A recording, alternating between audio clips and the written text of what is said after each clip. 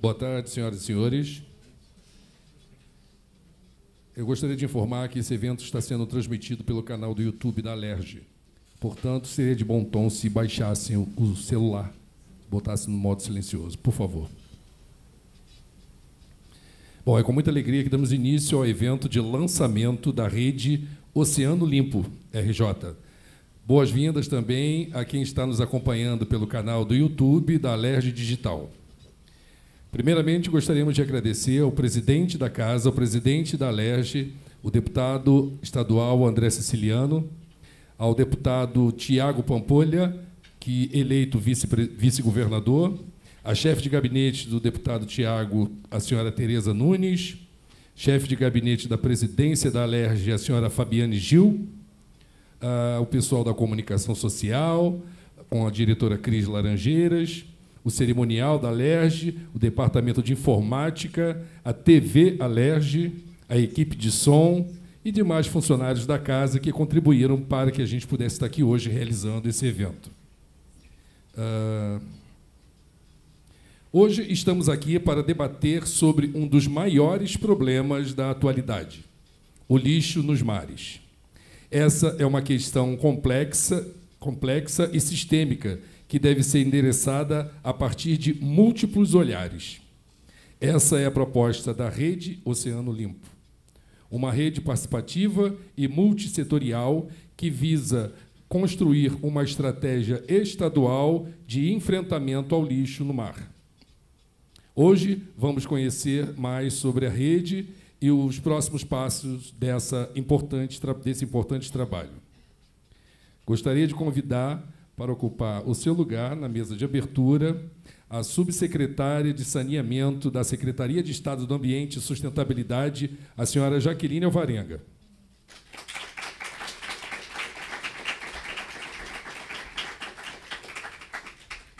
O diretor de Biodiversidade e Áreas Protegidas do Instituto Estadual do Ambiente, o senhor Leandro Gomes.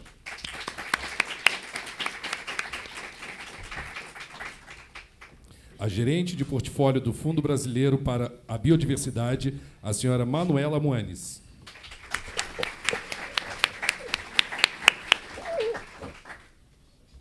Gerente de projetos do Fundo Brasileiro para a Biodiversidade, a senhora Laura, Laura Petroni.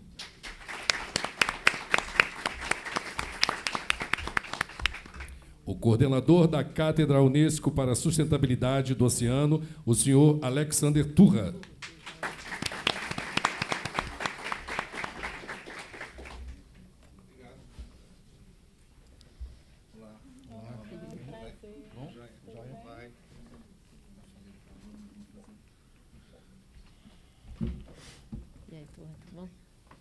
Bem, nesse momento, para dar as boas-vindas a todos, eu passo a palavra para ele, o coordenador da Cátedra Unesco para a Sustentabilidade, o senhor, o professor, né, Alexander Turra. Por favor. Muito obrigado. Vocês me ouvem bem? Sim. Bom, uma alegria imensa estar aqui nesse momento. Ah, não só o momento do projeto, mas o momento em que a gente está vivendo em relação à temática do lixo no mar no Brasil e no mundo. É, eu queria dar assim, as boas-vindas a todos e todas, dizer que é um prazer estar aqui nessa casa que tem um simbolismo muito importante em vários aspectos, inclusive para a temática ambiental. Né? Ricardo, a gente tem aqui o Rio de Janeiro como tendo um protagonismo nessa temática em termos nacionais e também mundiais. Né? A Rio 92 foi aonde? Né? Foi aqui, né? E a gente tem, então, esse, esse movimento super importante que agora foca no lixo no mar. Então, Jaqueline, Leandro, Laura e Manuela, a gente tem aqui esse esse simbólico dia em que a gente está trazendo esse lançamento, que na verdade é algo que não se lança, é algo que roda, né? É uma coisa que é uma roda que está girando e que está ganhando tamanho, está ganhando volume, está ganhando penetração nos diferentes setores da sociedade para que a gente consiga fazer um movimento é, compreensivo, sistêmico, integrado estruturante, diferenciado, né? para a gente poder fazer essa transformação que a gente precisa na sociedade. nós mesmos, nas políticas públicas, porque aí a gente tem essa ideia desse movimento duradouro, ah, nas pessoas, né? nas instituições, ah, nas crianças, eh, nas escolas, nas unidades de conservação, né? nas empresas. Ou seja, nesses mais variados atores ou setores da sociedade que precisam estar envolvidos nessa discussão que é hipercomplexa. Estava falando agora há pouco ah, sobre uma das raízes dessa temática, que é na pobreza. A pobreza, a exclusão. A gente tem falado muito de um tema chamado racismo ambiental, ou racismo oceânico, e que acaba fazendo com que a gente tenha um efeito desproporcional das mazelas trazidas pelas mudanças climáticas, pelas crises ambientais, para uma parcela muito ah, circunscrita da sociedade. E que às vezes a gente chega e fala que a culpa do lixo no mar é dessa parcela da sociedade. Só que, na verdade, o lixo no mar ele acaba sendo um indicador, um sintoma de que a gente tem um problema na sociedade que é legado à questão da produção, do consumo, sim, das, da matriz energética, de onde vem, por exemplo, boa parte da matéria-prima que gera esse monte de resíduos que a gente está gerando e levando para o mar, mas a gente está falando também da pobreza, né? que é algo que a gente tem que combater. A gente tem que pensar em design de produtos, sim. A gente tem que pensar né, no consumo, na racionalidade da produção? Sim. A gente tem que pensar na gestão dos resíduos? Sim, mas a gente tem que pensar também nas pessoas. Né? E dessa discussão toda que se inicia há duas semanas no Uruguai, que é o movimento de construção de um tratado internacional para a gente combater a poluição ambiental por plástico, lá se falou muito dessas pessoas. Se falou muito dos catadores, da importância que a gente pode, ou da oportunidade, Manuela, que a gente tem desse momento de pegar, por exemplo, o mundo de recursos, de, de valores que está relacionado a todos esses aspectos, desde o desenvolvimento tecnológico até a gestão dos resíduos, e criar um movimento um pouco mais democrático. Um movimento que distribua renda, por exemplo. Né? Então, quando a gente está falando de lixo no mar, a gente está falando de muita coisa. E é isso que a gente vai discutir aqui. Vamos entender quais são as oportunidades, quais são os desafios que a gente vai superar ao longo desse processo, que tem, enquanto projeto, um tempo limitado, mas enquanto movimento, né, é um movimento sem fim, para sempre. Porque ele é urgente. O oceano está pedindo socorro, né? para ontem, para hoje e para sempre. E é isso que a gente está fazendo aqui fazer a diferença para transformar esse oceano, sem deixar de olhar para as pessoas que dele, dele dependem. Então, dando essa primeira fala assim de, de boas-vindas e de abertura e de trazendo, tentando trazer um pouco de inspiração, eu é, acho que a gente está aqui é, construindo o futuro e fazendo a diferença. E é assim que eu quero sair daqui. Cheguei aqui pensando assim e tenho certeza que eu vou sair daqui com mais energia para a gente continuar nesse movimento fazendo isso, né, que é o que a gente está afim e precisa fazer. Obrigado.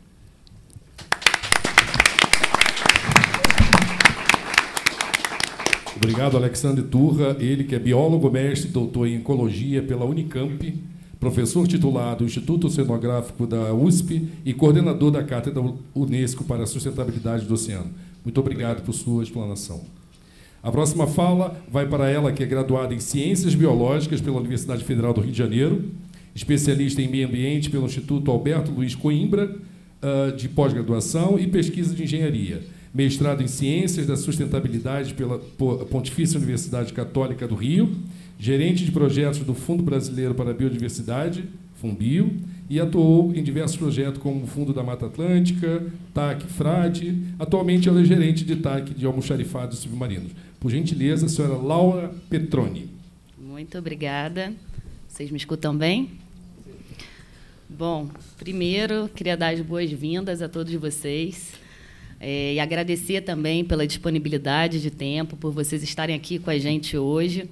Esse é o primeiro grande encontro da Rede Oceano Limpo, mas há previsão de outros. E, assim como o Turra disse, a gente espera que essa rede se perpetue muito para além do projeto.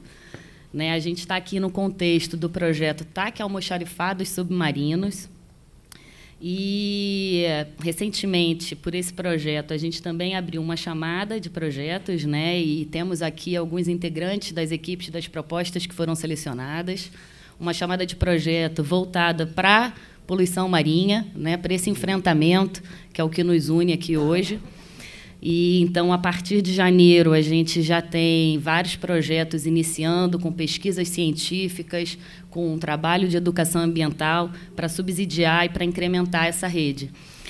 É, o ao Sub também tem outras vertentes muito alinhadas com o que o Turra acaba de falar. Né? Então, tem um objetivo que é focado na pesca artesanal, o apoio a comunidades pesqueiras e tem também o apoio a unidades de conservação federais e estaduais.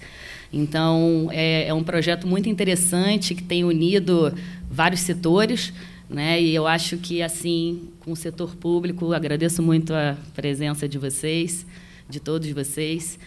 Assim, eu acho que a gente vai conseguir de forma articulada, organizada, né, e participativa pensar no nosso objetivo, que é a construção de estratégias né, na esfera.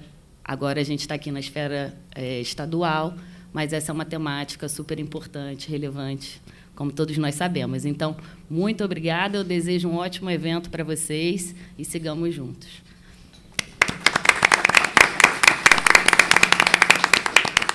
Muito obrigada, senhora Laura Petroni, gerente de projetos do Fundo Brasileiro para Biodiversidade.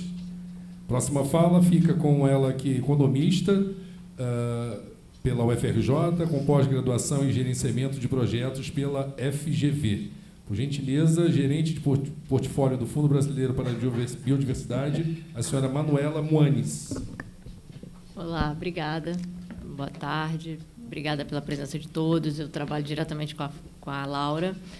É, é, para mim é muito orgulho né estar tá nessa posição. É, a gente hoje eu sou gerente de obrigações de obrigações legais né um portfólio de obrigações legais no Fumbio que é uma fonte de recursos para o setor ambiental como as compensações ambientais que às vezes ficam perdidos no, no, na, na, burocracia, na, nas empresas, na, é, e, e no, em outros canais, e a gente, no Fumbio, conseguiu é, se colocar nesse nicho e, e, e, se colocando, e hoje a gente tem uma carteira de, de termos de ajustamento de conduta, de compensação ambiental, que começou com, com o Fundo da Mata Atlântica, né, onde eu participei da, da elaboração, é, então, uma fonte de recursos que, que, que, que, traz muito. Não é uma, não é uma simples doação, é, um, é, um, é uma conquista, é uma. É uma é, a gente viabilizar né, esses recursos é mais uma, uma, uma fonte, não é a, fonte que a gente gostaria, porque geralmente ela vem de acidente, né, mas pelo menos a gente consegue, de alguma maneira, fazer a mitigação né, é, disso. Então, o TAC almoxarifado chegou, eu, eu fui para eu voltei ao Fumbio como gerente em 2020. É, em outubro de 2020, esse TAC a gente assinou em, com o Ministério Público em abril e a gente teve muito, muita participação em tentar trazer esse projeto do PEMALM para esse, esses recursos. A gente é, apresentou, apresentou no Conselho, foi muito bem recebido pelo, pelo MP. A gente levou para o Tiago, Tiago Pampoli, que na época era secretário né, do, da, da, da SES, para o José Ricardo, e também eles abraçaram né, o projeto na época que a gente apresentou. É, então, é muito importante porque a gente hoje no Fumbio a gente está tentando fazer é, esse papel de tentar catalisar recursos, catalisar pessoas, sinergia entre projetos, e, e, a gente já tinha apoiado de alguma forma em São Paulo, e hoje a gente está tentando apoiar aí com outros projetos é, em outros estados do Brasil, mas o Rio é a nossa, é a nossa casa, né? é, é simbólico para a gente. E, e, é isso, e, é, e, pensar tanto nas sinergias quanto nessa perpetuidade. Então, projetos que, que, que continuem, que o TAC vai ter quatro anos, a gente não tem recurso para sempre, mas que é, esse network, né, essa, essa, essa é, organização, esse conjunto de organizações aqui possam continuar, né, e esse e esse é, muita, alegria, muita alegria essa conexão entre a política pública, entre o governo e a, e a sociedade civil, né, a gente poder trabalhar junto. Então, acho que é, é isso, acho que é nosso papel, é fundamental, e é isso que, que nos move, nosso propósito é tentar catalisar, canalizar recursos para o meio ambiente de forma sinérgica, com perpetuidade e com diversos atores, né, stakeholders. Esse é o nosso desafio. Então, acho que esse projeto ele simboliza isso. Muito obrigada.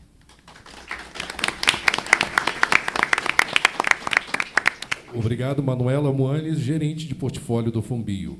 Eu gostaria de pedir à, à mesa que, quando fosse falar, se aproximasse mais do microfone para que a gente possa ter uma transmissão de qualidade. Tá bom? Muito obrigado. Próxima fala, ele que é gestor industrial, especialista em gerenciamento de projetos e gestão ambiental, hoje diretor de biodiversidade, áreas protegidas e ecossistema do INEA. É, por gentileza, o senhor Leandro Gomes. Bom, boa tarde a todos. É, toda a mesa aqui envolvida. É, estendo a fala, pegando o gancho da Manu em primeiro lugar, né? chamo de Manu porque a gente já se conheceu assim, é muito bom trabalhar com o Fumbio pela competência e pela, por todo o resultado que o Fumbio tem. E agradecer a todos os atores políticos que, de uma certa forma, acreditaram quando vocês levaram lá no primeiro momento. O apoio que o secretário deu, o Tiago, depois passando a bola para o Zé Ricardo. Hoje a gente representa o INE aqui na figura do Felipe Campelo. E a sinergia do órgão é muito grande. Né? A sinergia do órgão é realmente ser executor tentar empatar, é, equilibrar esse ato entre gestões, aonde a gente teve poucas entregas, e realmente ser servidor. Hoje a gente vive um marco aqui, esse lançamento. É, lembraremos né, dessa, desse lançamento por muitos anos ainda. E o sucesso, mesmo que vindo de uma compensação, um impacto, é a maneira que o meio ambiente aprendeu de ser criativo a maneira que ele aprendeu de mitigar e custear projetos a qual são tão importantes, porque o crescimento populacional acaba de uma forma incontrolável gerando esses impactos. Esses impactos que a gente tem algumas pesquisas, temos alguns levantamentos, temos várias rodas de discussão, mas quando vamos para o mar, quando vamos para a água, a gente está longe de ter diagnósticos precisos. A gente está longe de ter diagnósticos que nos mostrem realmente tudo. E, para isso, o nome muito bem intitulado de gestão participativa, essa construção participativa. Ela vai ser participativa e vai ser importante, pegando o gancho de vocês na construção desse TAC, se a gente der uma coisa chamada sustentabilidade. Quando a gente fala de um projeto, a gente tem início, meio e fim custo definido, a entrega que a gente quer ao final, que vai ser discutida dentro de um grupo técnico, em, todas as, em todos os temas que a gente vai envolver nisso, mas ele precisa chegar na população. Todos os parentes de vocês, os vizinhos de vocês, precisam enxergar que isso está acontecendo em toda a região costeira nossa. A gente precisa enxergar é, como que nessa sustentabilidade a gente mexe com a economia circular. Como que a gente pega aquele pessoal que quer uma oportunidade e tratando do lixo ou cuidando do nosso meio ambiente, isso também possa gerar uma fonte de recurso. Eu sei que temos outras oficinas, como a pesqueira, dentro do, do, do projeto, mas esse é o maior desafio da gente aqui no meio. É, esse TAC ele atende, como você falou aqui, é, algumas unidades de conservação, e eu, como diretor, e temos aqui servidores do órgão, como o meu querido gestor aqui da Tiririca. Quando a gente recebe equipamentos para um órgão público, onde também precisa se modernizar, precisa atualizar, e a gente consegue receber equipamentos e apoio, aquele servidor que é apaixonado pela causa ambiental, está há anos, é patrimônio do órgão, ele vê uma forma daquele trabalho dele andar aquele trabalho que às vezes poderia estar parado ou que tem uma grande oportunidade dele botar para frente o que ele vê no dia a dia. Cabe a gente, e aí eu estendo dentro da fala, todo o apoio que o INEA SES puderem fazer a TAC, não só as obrigações legais de acompanhamento, mas todo o apoio criativo de pertencimento, de engajamento de todos os nossos servidores, nós, diretores, presidência, para que a gente possa realmente criar esses caminhos participativos e sustentáveis. A gente já cria é, algumas ferramentas. Então, por exemplo, uma causa que tem um eixo dentro do desenvolvimento sustentável, dentro dos eixos do ODS. É, alguns dos nossos programas lançados esse ano tendem a mandar recursos para as cidades baseadas em projetos locais dentro dos eixos de sustentabilidade. Por que não o exemplo desse TAC, os projetos e toda a discussão que a gente vai fazer possa ser motivador para que as cidades criem projetos locais e isso seja cada vez mais multiplicador? Então, é a semente que plantamos aqui hoje, não a gente, não como figura de autoridade, mas sim de servidores, e vocês aqui como testemunhas e participadores disso, possamos multiplicar cada vez mais. Então, que fique na nossa fala Inéia a forma é, apaixonada de continuar a multiplicar um projeto como esse, multiplicar o apoio a combater o lixo no mar, a controlar e dar apoio ao gerenciamento costeiro do nosso estado, também de uma certa forma esquecido, né, ao longo do desenvolvimento das cidades, para que a gente possa combater isso tudo. Então, essa forma apaixonada que eu convido a todos vocês a estarem junto com a gente, construir junto com a gente, todos os atores, todos os players, mas também todos os cidadãos que vão ver esse projeto acontecer e vão poder fazer parte disso. Uma boa tarde a todos, obrigado.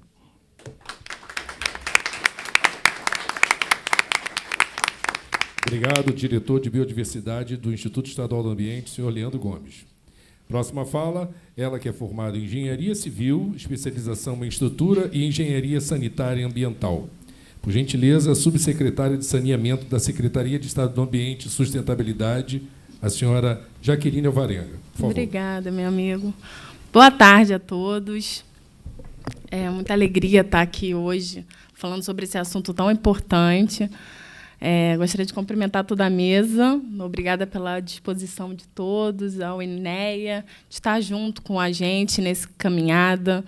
Desde quando a Fumbi procurou a gente, junto com a USP, é, trouxe muita alegria a gente saber desse projeto, desse desenvolvimento, dessa participação, de chamar o Estado junto para participar.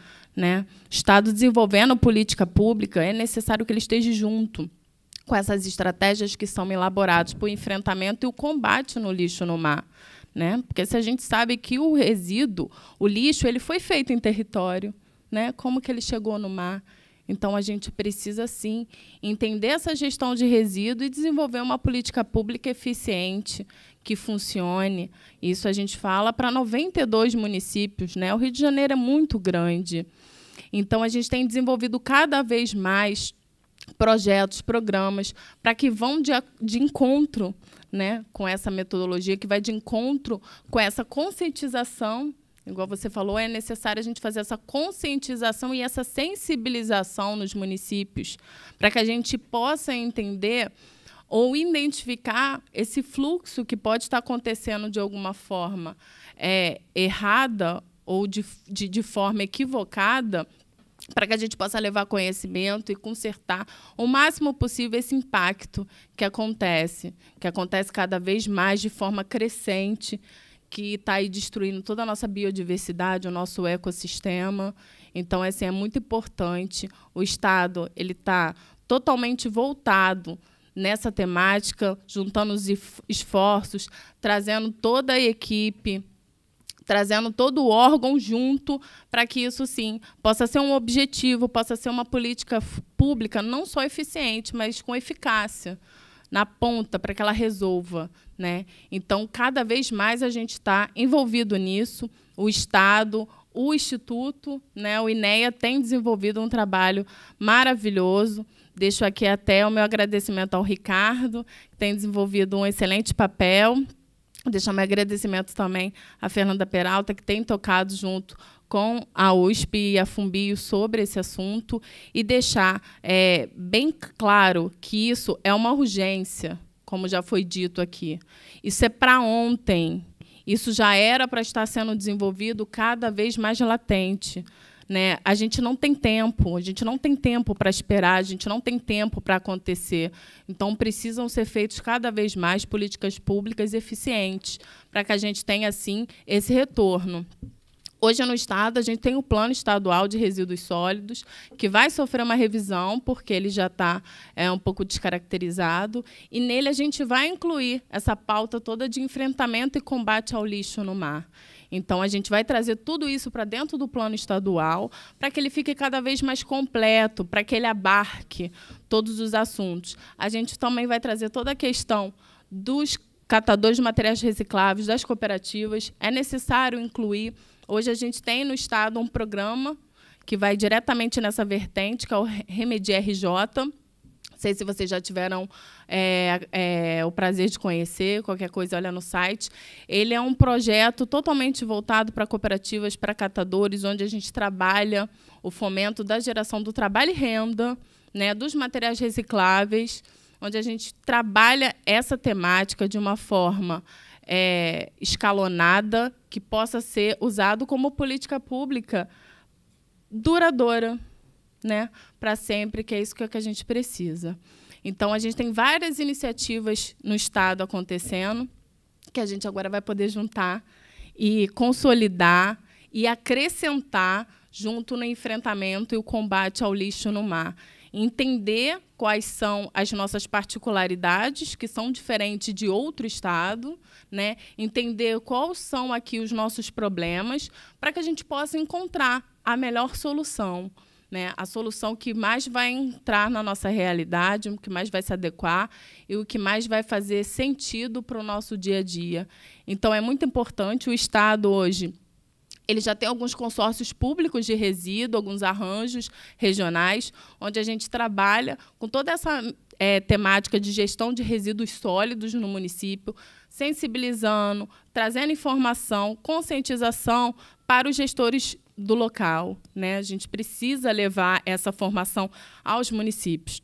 A gente precisa fazer essa sensibilização do gestor público. E quando a gente fala isso, a gente fala do prefeito, a gente fala do secretário, a gente fala dos servidores públicos, para que a gente possa cada vez mais trabalhar dentro daquele município a educação ambiental, que é ali que começa tudo. É necessário a gente falar sobre isso. Né? Educação ambiental é a gente estar tá preservando e levando adiante para as futuras gerações tudo, todo esse impacto, toda essa urgência, toda essa necessidade e todo esse respeito com o meio ambiente, que é necessário a gente pontuar aqui. Respeitar, porque a nossa matriz econômica ela passa pelo meio ambiente. E cada vez mais tem passado mais ainda, isso é inegável. Então, a gente precisa, sim, voltar os nossos olhos, os nossos esforços.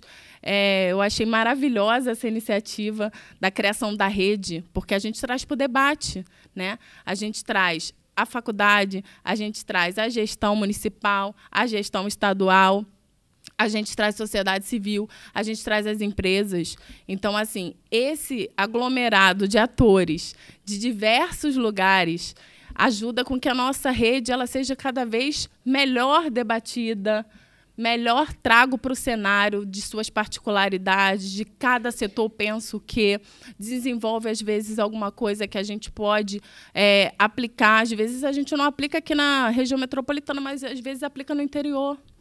Então a gente consegue ir adaptando e sim, de uma forma na sintonia, que eu achei isso muito legal, dessa troca.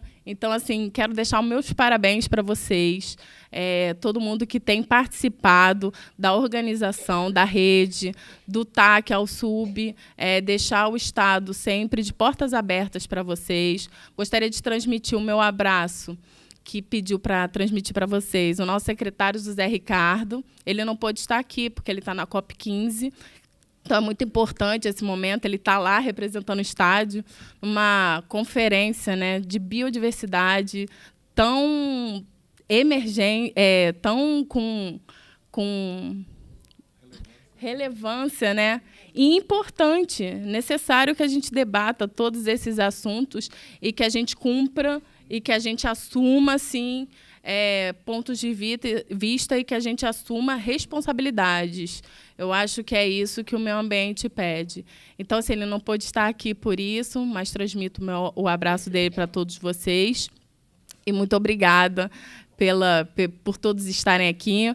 Muito obrigada por todos estarem participando. Eu fico muito feliz de ver a casa assim cheia num tema que realmente é de relevância e de muito significado para a nossa Secretaria de Estado, que hoje mexe com todas é, essas políticas públicas de desenvolvimento de resíduo. Então, meu muito obrigada e boa tarde.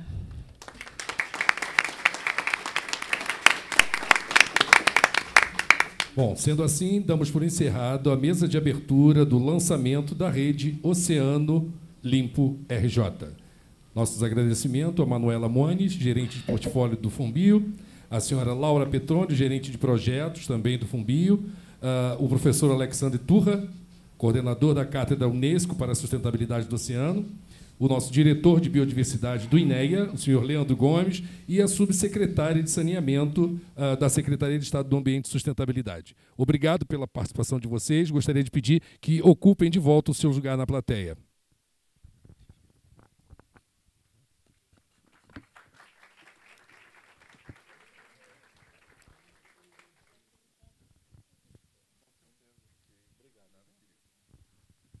Bom, na sequência de nossa programação, eu gostaria de convidar aqui à frente uh, ela que é bióloga, especialista em gerenciamento ambiental e mestre em oceanografia, ambos pela Universidade de São Paulo. Por gentileza, senhora Natália Grilli.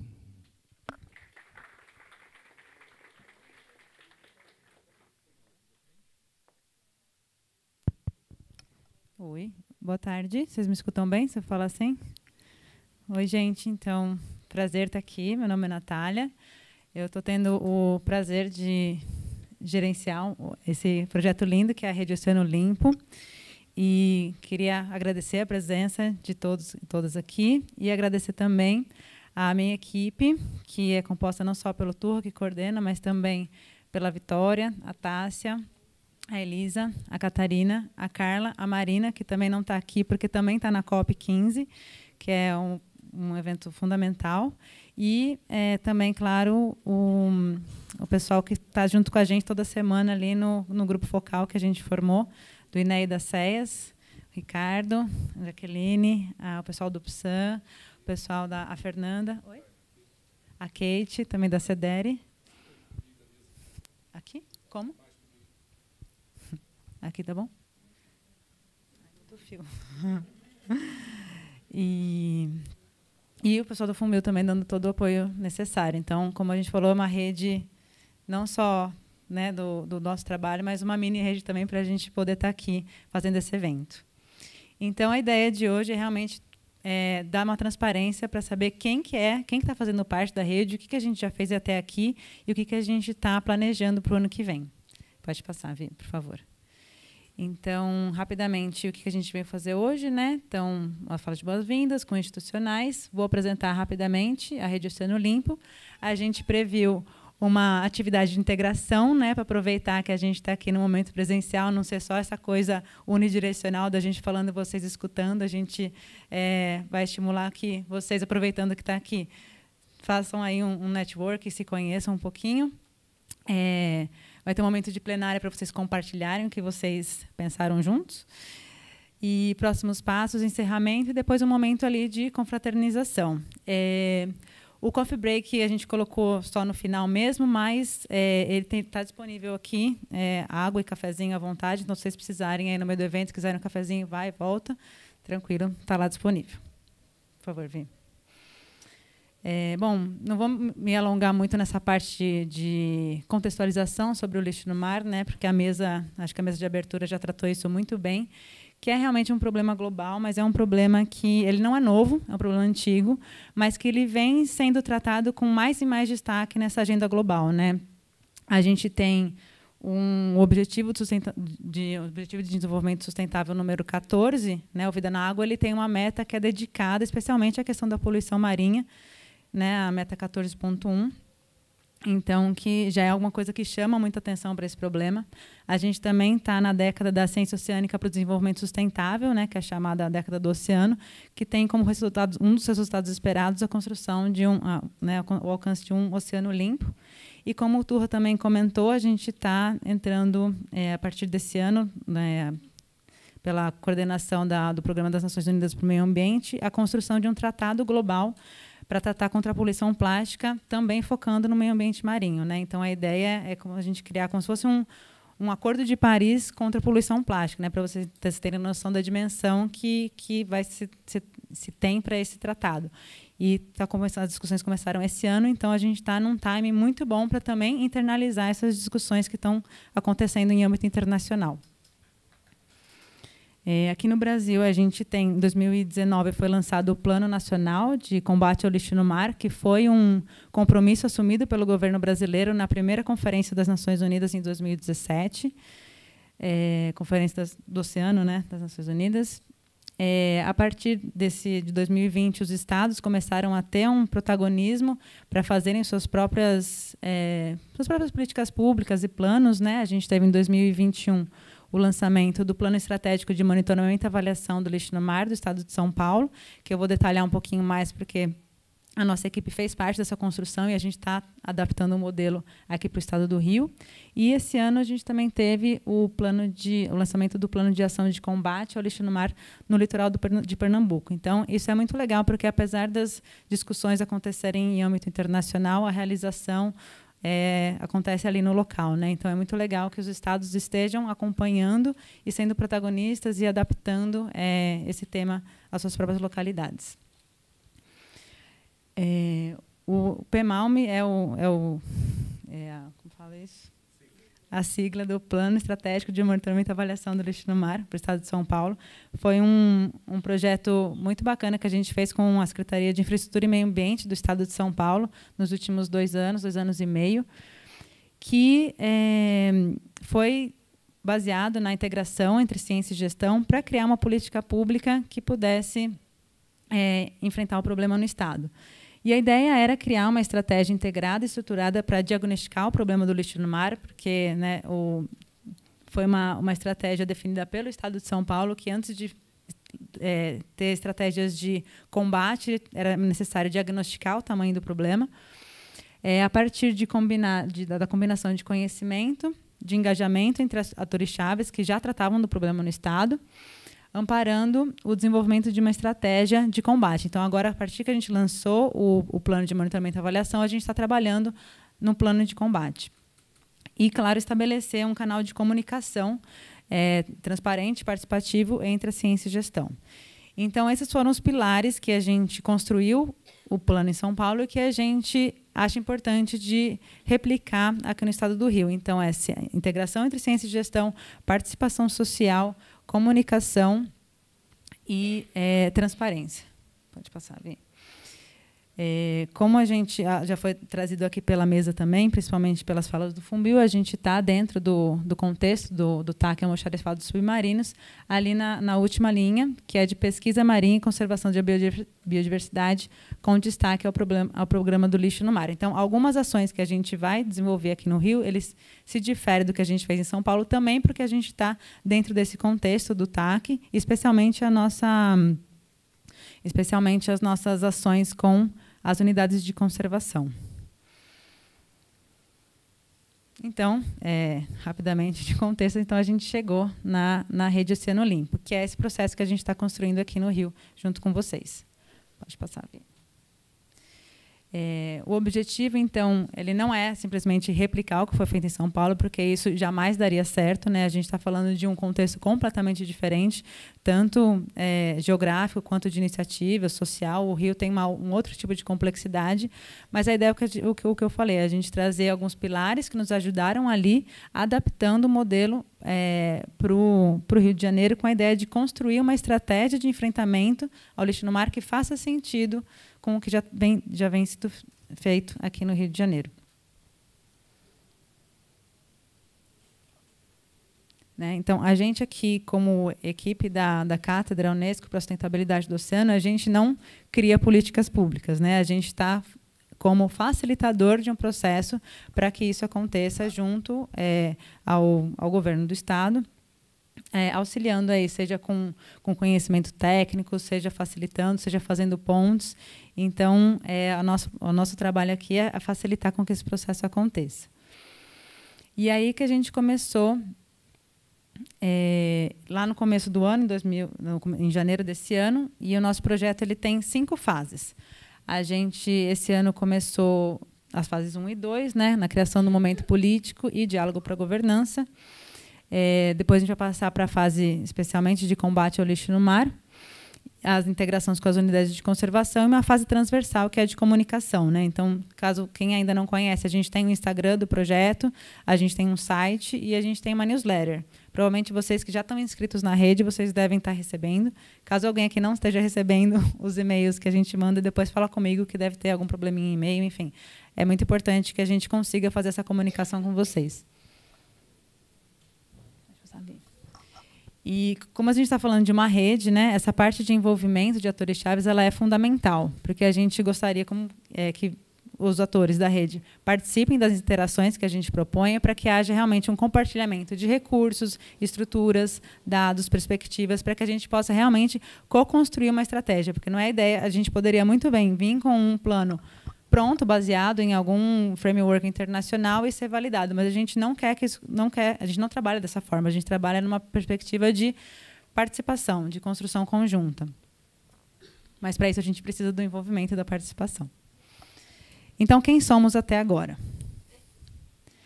É, para construir a rede Oceano Limpo, a gente partiu, é, partiu de algumas metodologias né, de identificação de atores chaves como eu falei ali no começo, a gente tem um grupo focal né, entre a cátedra, o INEA, a CEAS, o PSAN e a CEDERE, que a gente fez uma oficina de levantamento de atores. Então, quem que é, a gente entendia que, deve, que trabalha com isso aqui no Rio, que deveria fazer parte da Rede Oceano Limpo.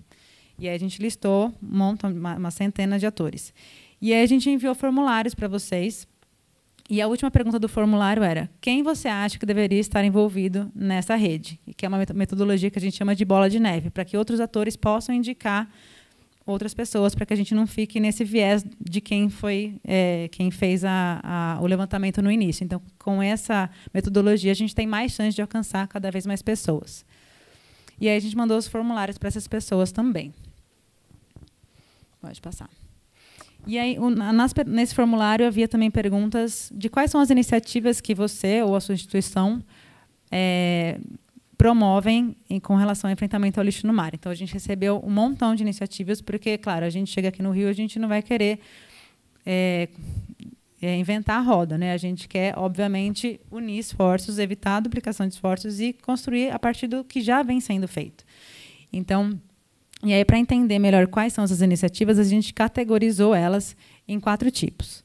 Né? Então, são iniciativas que é, podem estar tá atuando ali na geração. Né? Então, são iniciativas relacionadas à gestão de resíduos sólidos, gestão de saneamento básico, logística reversa, é, esgoto. Né? Então, é, as iniciativas que estão nessa, nessa ordem são, categori são categorizadas como geração.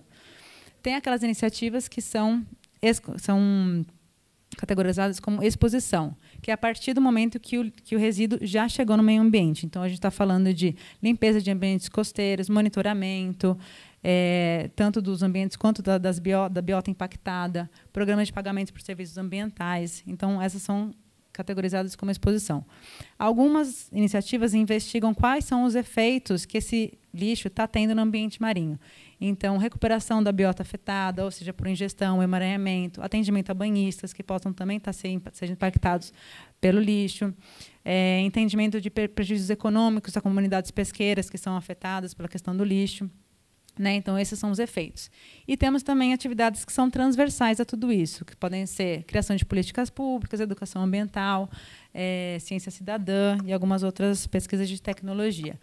E aqui vocês podem perceber que a gente, bem, bem como foi tratado aqui na mesa de abertura, a gente entende o lixo no mar como uma questão holística e transversal à, na sociedade. Né? A gente não está só falando de gestão de resíduos sólidos, a gente está falando de uma coisa muito maior, porque o lixo, desde o do, do, do, design do produto, até como ele é consumido, até o que acontece com ele depois que ele vira resíduo, então a gente atuar na, na, no enfrentamento do lixo no mar é atuar em cada uma dessas frentes.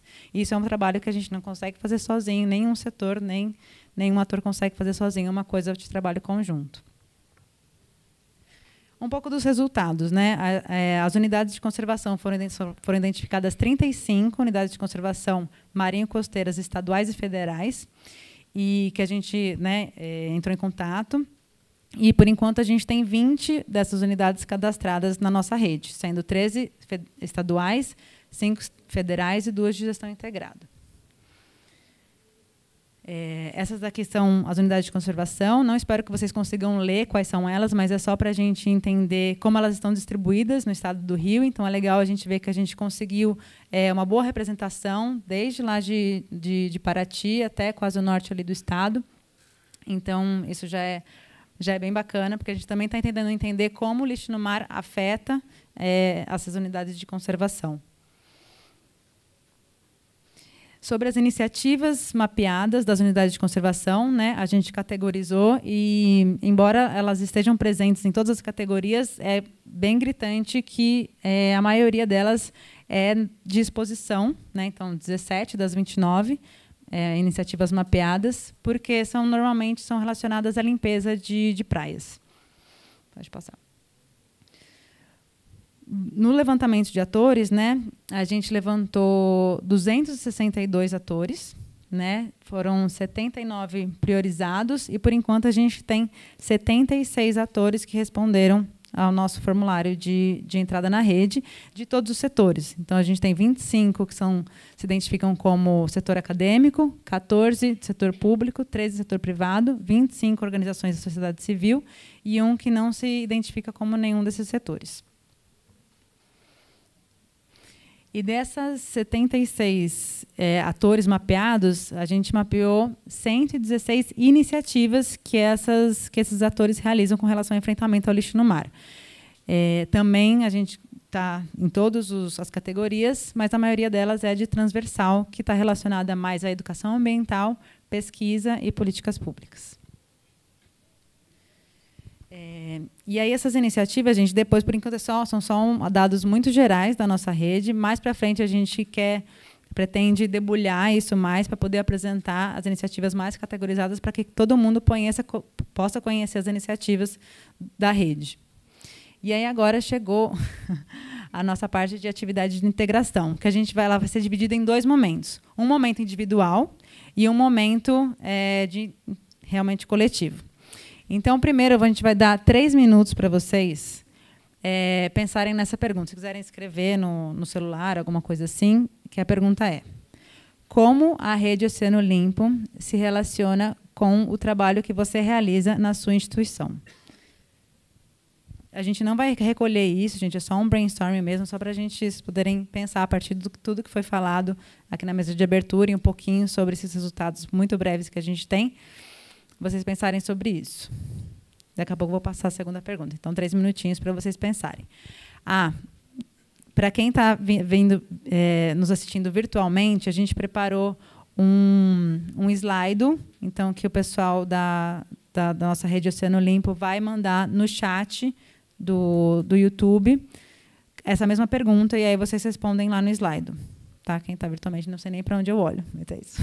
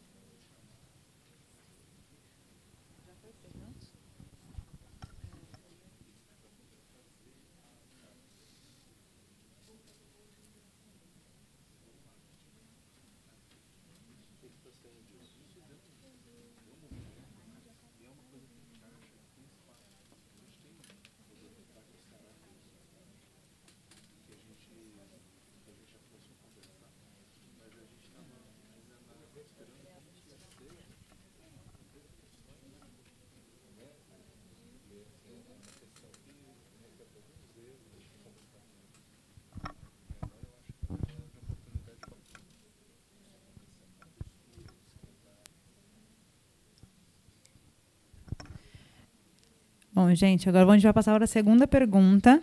Pode passar, por favor. Que é também individual, que é vocês pensarem quais são as suas preocupações em relação ao funcionamento da rede e a sua participação dentro da rede. Então, possíveis preocupações, assim, é tempo, enfim, o que vocês pensam que é uma preocupação nesse sentido? Três minutinhos também.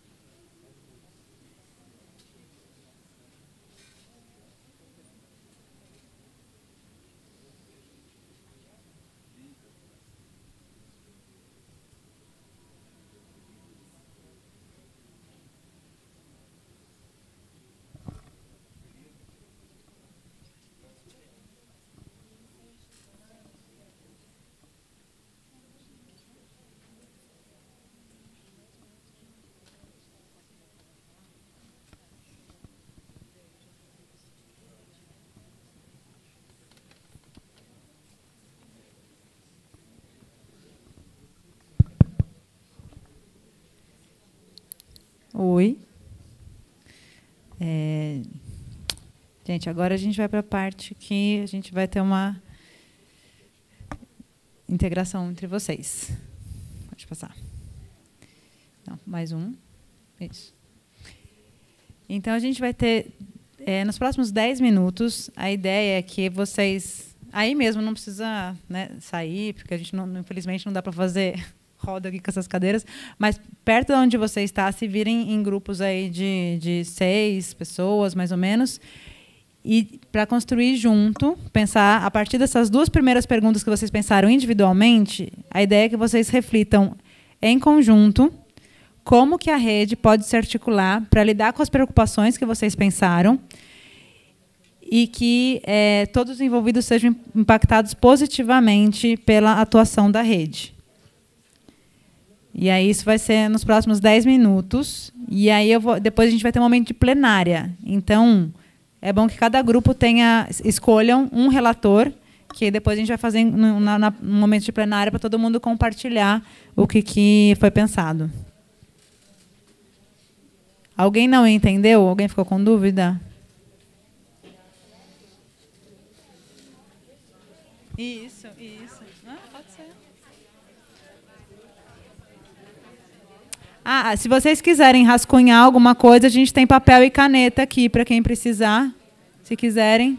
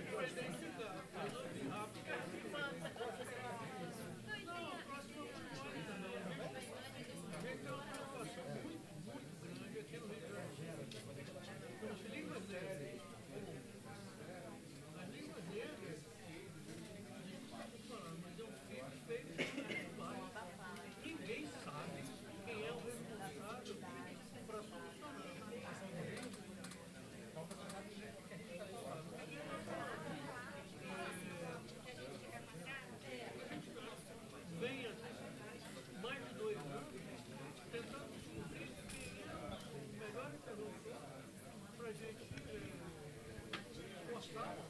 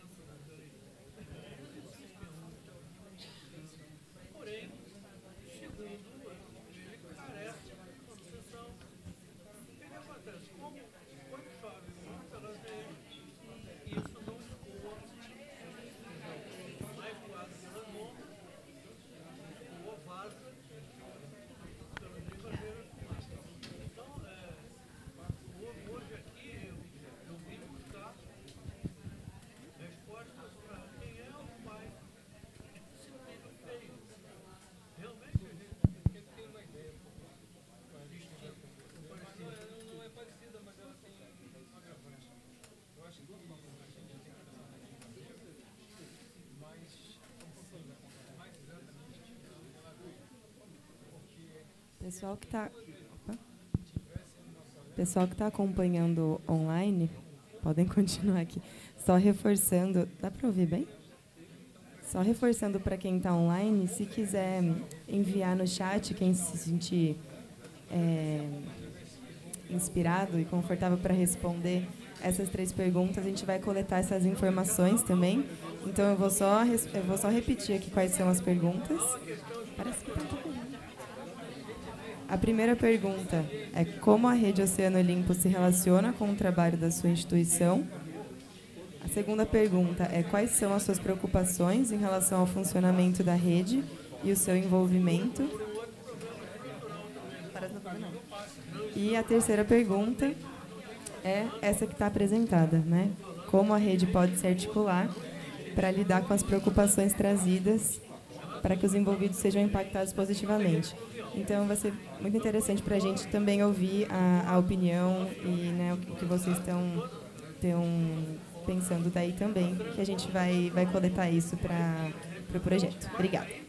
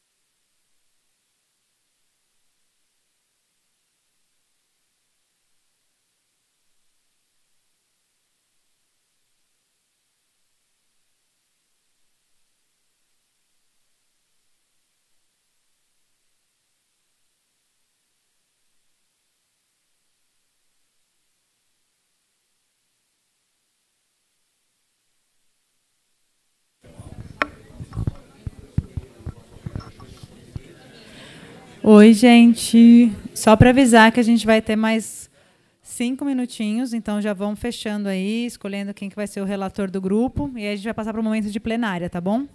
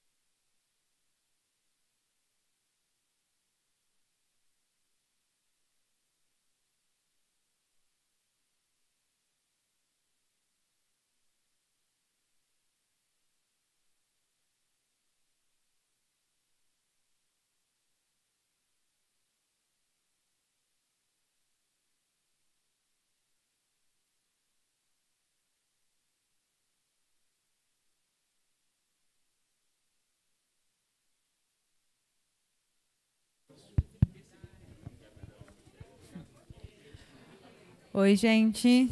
É... Ouvi... Você pode passar um. Bom, agora a gente vai. Vou pedir para cada grupo, se o relator de cada grupo falar em dois minutinhos. Vamos tentar para que todos os grupos possam falar o que, que foi discutido na, no grupo de vocês. Então, quem quer começar? Qual grupo quer começar?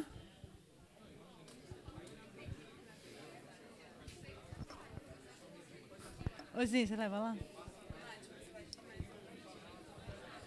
Aham, uhum, aham. Uhum. Vamos ver. O pessoal está ali, peraí.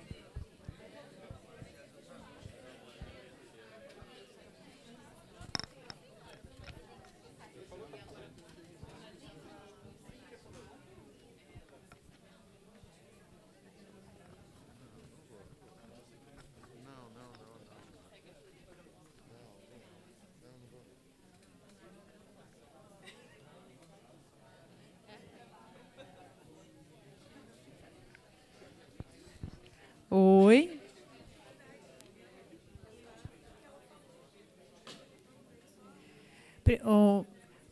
Antes de começar a falar, por favor, só fala o seu nome, é, a sua instituição e aí o que foi discutido no grupo, por favor.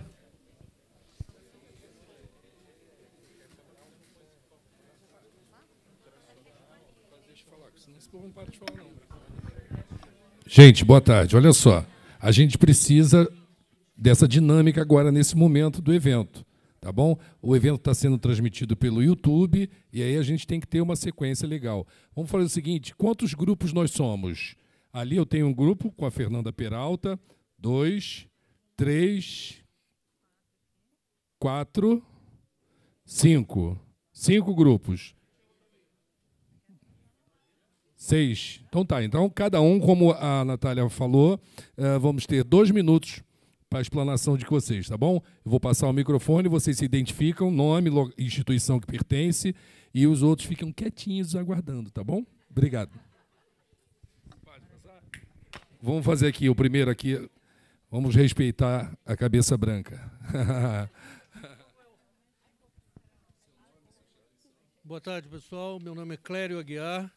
Eu sou atualmente vice-presidente do Instituto Mar Adentro. Então, obviamente, na primeira pergunta, a correlação que a gente tem com o tema é o DS 14, a coisa mais óbvia do mundo, mais rápida. Não pensei nem em 10 segundos. É, a segunda, uma, uma questão que nos incomoda muito, que eu trouxe para o grupo aqui, chama-se Línguas Negras. É preciso fazer alguma coisa, a gente vem tentando há muito, mais de dois anos, descobrir quem é o pai desse filho feio. Então a gente sente como o maior problema, nesse caso, a informação de para quem que eu, com quem que eu converso. Aí já ouvi falar que é a Secretaria de Meio Ambiente da Prefeitura, já ouvi falar que é o Estado, já ouvi falar Águas do Rio, fui na Águas do Rio, enfim, eu não consegui sair desse embrólio. Então, é, o, a última pergunta que foi como é que a rede pode nos ajudar em relação a isso? É estreitar esses contatos, essas, é, essas conexões é, entre os atores que possam nos ajudar a resolver, a discutir, pelo menos, como é que se minimiza isso. Eu sei que tem o problema do esgoto das, das comunidades, que não existe ainda.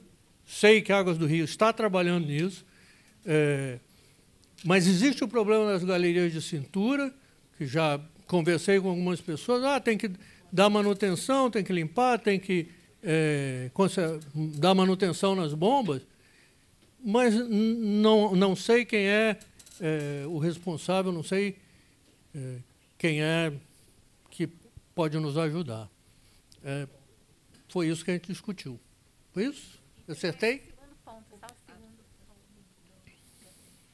Hum, qual? Acha que quem é o responsável? Ah, sim. Aqui, aqui dentro do ter pontos focais que possam discutir esse negócio.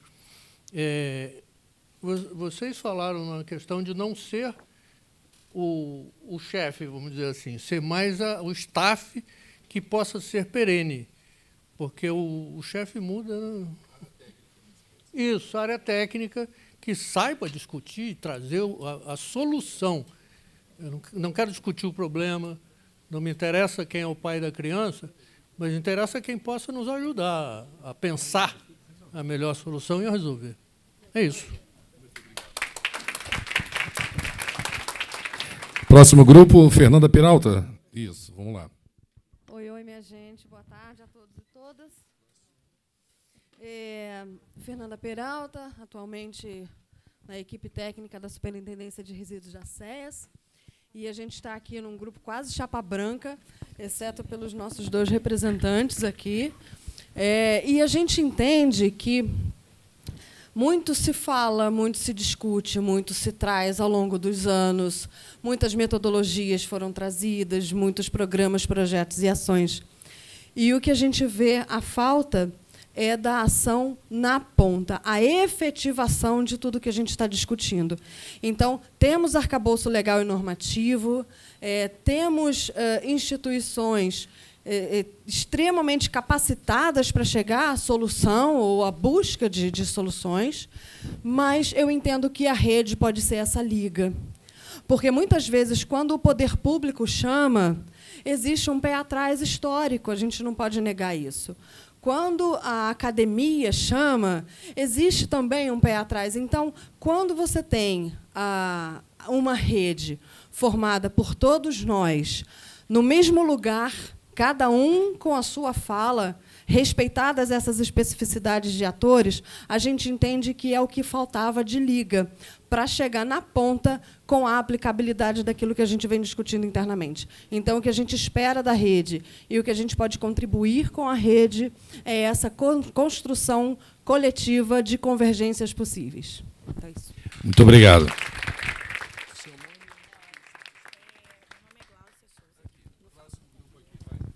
Boa tarde a todos. Me chamo Glaucia Souza. Eu vim junto ao presidente da Colônia Z10, representando a colônia pesqueira na Ilha do Governador. E eu achei super importante né, as pautas que foram faladas aqui, porque é exatamente o trabalho que a gente já realiza na comunidade. Né? E, pegando o gancho até do que a nossa amiga falou, o que falta realmente é a parceria na ponta, para continuar o trabalho, para potencializar o trabalho. Lá a gente já realiza um trabalho de limpeza na Baía de Guanabara, que é patrocinado através de uma ONG italiana. E temos o ponto de coleta, que mobiliza a comunidade. Foi a forma que nós encontramos de é, prevenção para que esse resíduo não chegue ao mar, né? E com isso também conscientizar a comunidade. Eles falaram uma pauta ali sobre catadores. Eu posso falar com propriedade porque nós conhecemos muitos catadores na verdade, as pessoas que não têm da onde tirar o sustento na comunidade, o trabalho deles foi limpar a comunidade e receber por isso. Então, assim, se tornou uma ajuda mútua na comunidade, né? O morador ajudando o pescador. E com isso, assim, aproveitando né, a oportunidade do, do momento aqui e tudo mais, a, o que a gente pede realmente é essa ajuda na ponta, para ajudar, de fato, potencializar esse projeto e assim tornar ele sustentável, porque a empresa chega lá, faz o trabalho deles, é, paga o pescador, acabou o contrato, vou embora. E o pescador volta duas casas para trás. Então, o que a gente está buscando, de fato, é parceria para potencializar esse projeto, que é realizado dentro da Colônia Z10, né? para, com isso, estar tá abrangendo todo mundo. Jovem, a mulher do pescador que está lá esperando e a pesca já não está com a mesma qualidade porque a Baía de Guanabara está de uma forma que eu não preciso dizer. Então, acho que assim, é, o que a gente veio hoje aqui pedir né, é literalmente essa parceria, né, essa ajuda para potencializar isso tudo e a gente continuar o trabalho e tornar ele sustentável por muitos e muitos anos. Eu acho que a, essa, palavra, essa frase aí do muitos e muitos anos é literalmente a ajuda para tornar sustentável. Com isso, e a gente já realiza esse trabalho lá. Quem quiser conhecer também, só seguir o Bahia do Amanhã na, nas redes, a colônia Z10, da Ilha do Governador, e vocês vão entender um pouquinho do, do trabalho que a gente já realiza lá.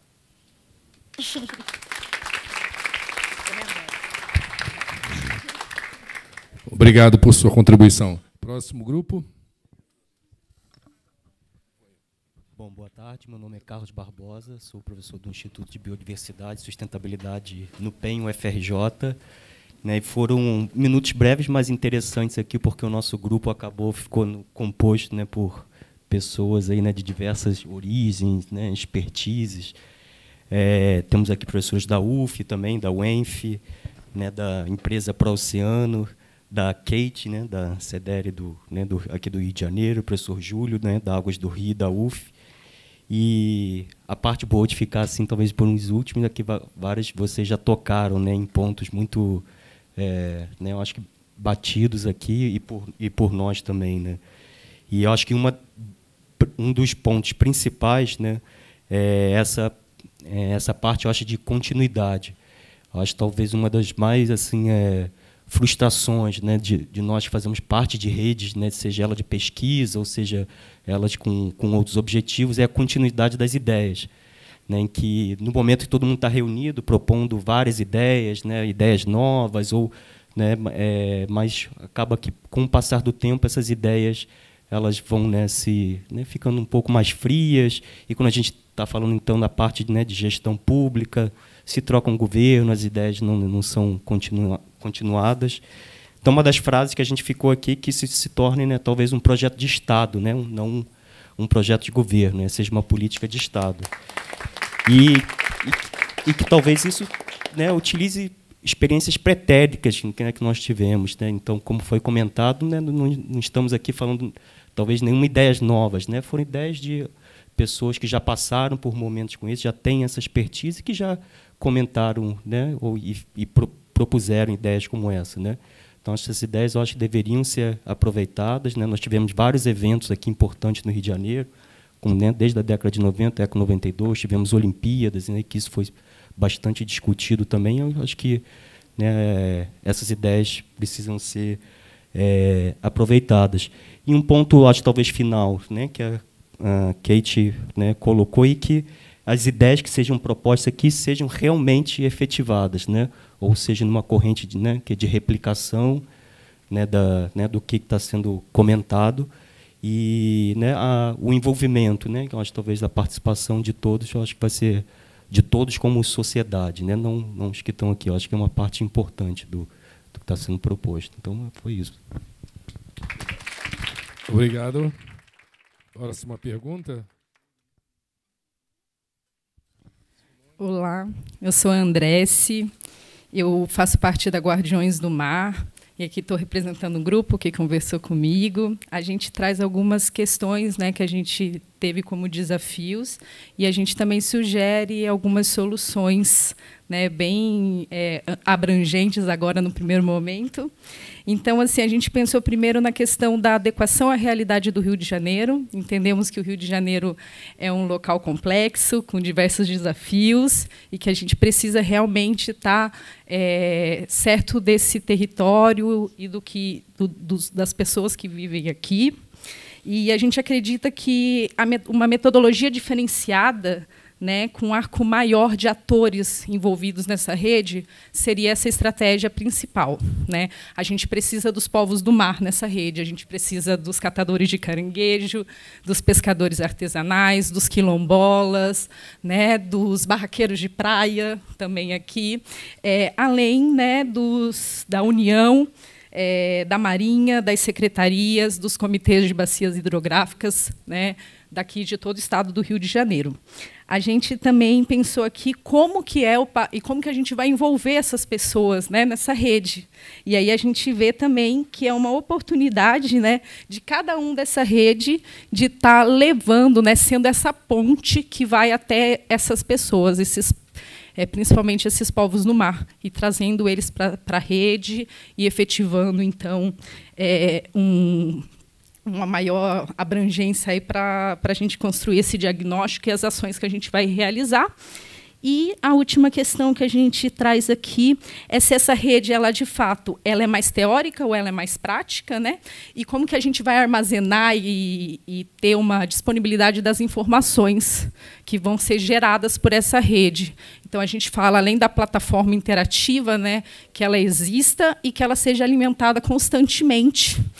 É, além né, de nosso papel aqui como tanto como sociedade civil, o que, que a gente vai fazer, é, o poder público, o que, que ele vai fazer, e se o setor público também vai estar tá aplicando aí é, o que já existe de fato de política pública nesse sentido, até mesmo se vai aplicar a agenda, a agenda ambiental da administração pública. Né? Então, ficou esse questionamento aqui do pessoal do grupo para a rede, essas contribuições.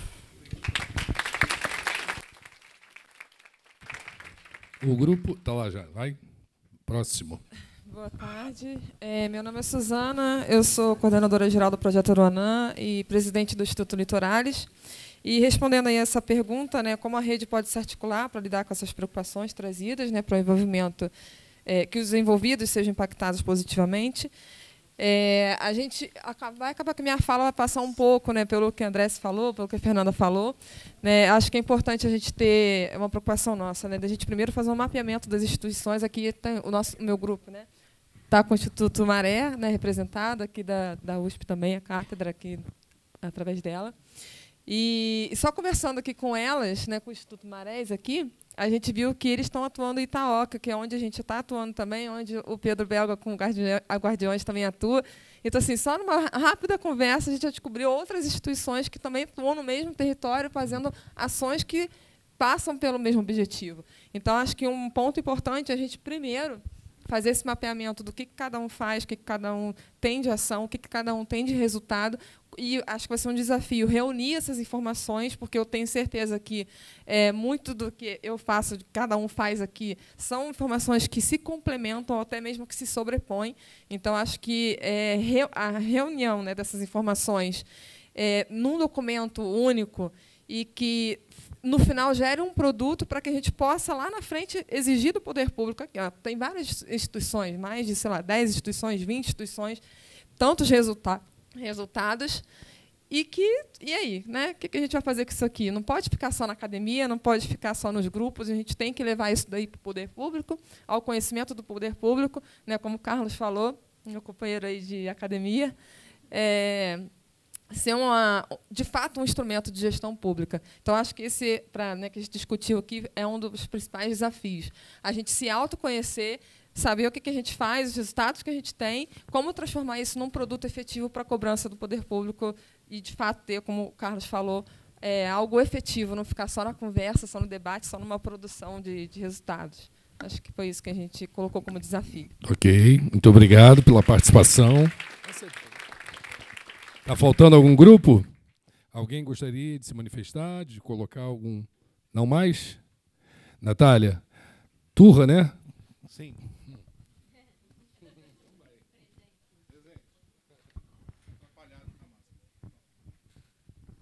Bom. Bom. Temos manifestações na internet. Vou ler aqui algumas para vocês, tá? Bom, a Luíse Ferraro. Boa tarde. Secretaria de Meio Ambiente de Niterói presente. Acredito que a rede pode potencializar ações que realizamos no município, trazendo uma integração de setores, atores, territórios e esforços. Instituto Aqualung. Ah, as nossas preocupações se remetem à operacionalização da rede junto às instituições que ah, já promovem ações direcionadas para a década do oceano, como o Instituto Aqualung. E o Cúmulos TV, potencializar os membros da rede, aproveitando o alcance e a capilaridade para uma comunicação eficaz. Na verdade, a gente ficou aqui num grupo aqui, a Jaqueline e o Leandro, e a gente ficou trocando figurinhas e pensando, sonhando, né? E assim, e, e, na verdade pensando em coisas práticas, que, que, é mais ou menos o que a gente vai fazer, essa ebulição que a gente acabou vendo na prática o início aqui. Vocês viram isso acontecer. Foi mágico, foi incrível. E é um pouco de sonho. Aí eu queria usar rapidamente, eu vou falar só dois minutos, tá? É um pouco de sonho que a gente pode trazer um pouco da música, que muito, infelizmente, né, os nossos universitários de hoje não conhecem mas muitos de vocês vão conhecer. Não estou falando que a gente é um bando velho, tá? Mas que é que o sonho que se sonha só é só um sonho que se sonha só, porque sonho que se sonha junto é o quê? É realidade, né? É o que a gente está fazendo aqui, é realidade. A gente está palpando, a gente está vendo isso, a gente está vendo acontecer. E remetendo um pouco à minha infância, que eu lembro que tinha os super amigos que se juntavam num, lugar, num lugarzinho que se chamava Liga da Justiça. Vocês lembram disso? Tá bom, já entreguei. Mas na verdade a gente está falando de uma coisa mais forte que uma liga. Uma coisa que faz a gente construir comunidade. Adorei o trocadilho uma coisa mais forte que uma liga, uma corrente. Né? Uma corrente que se estrutura e que faz com que essa, esse diálogo, que não é só teórico e sim prático, né? essencialmente prático, que ele faça com que a gente junte a academia, né? que a gente junte os diferentes setores para promover essa transformação e tornar esse sonho, tornar essas, esses exercícios que a gente está fazendo, esses, esses experimentos que a gente está fazendo, essas transposições de experiências de outros locais para cá, ou daqui para lá, né, isso seja realidade. É isso que a gente está fazendo aqui. Então, a gente aqui fez uma reflexão e acho que inicia assim, uma série de, de caminhos possíveis para serem experimentados e emplacados, fazendo com que a ação seja do Estado para mudar o Estado. É isso.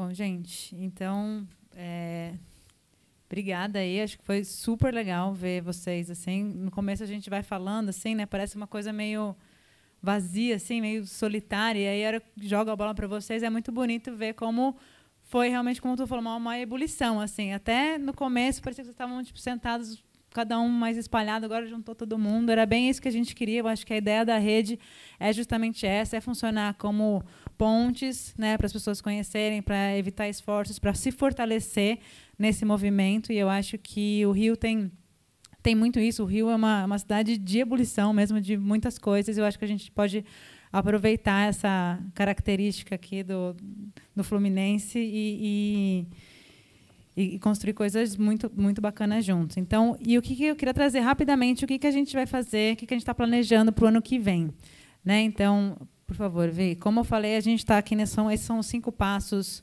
cinco etapas do nosso projeto.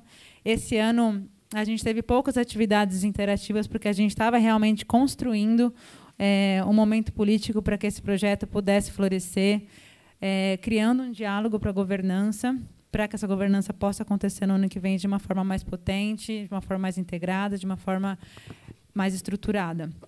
Então, o ano que vem, não, é, a gente vai entrar fortemente aí nessa questão do, da, da, do lixo, de combate ao lixo no mar e também mais fortemente na integração das unidades de conservação. A gente já começou a mapear as unidades de conservação, quais são as iniciativas, mas no ano que vem a gente também vai fazer é, uma, uns workshops voltados para esse setor também. E a comunicação também cada vez mais forte, aí dando visibilidade não só para as ações do projeto, mas também para para as iniciativas que fazem parte do projeto, né? Ouvi alguma fala de vocês que a gente, a gente nem sabe quem ainda faz parte da rede, a gente quer criar um espaço no nosso site de quais são as iniciativas que fazem, quais são os atores que fazem parte da rede.